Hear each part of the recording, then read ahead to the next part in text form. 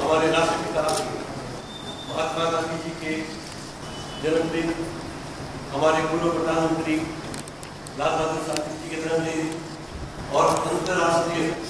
अहिंसा दिवस के साथ आज हम यहाँ पर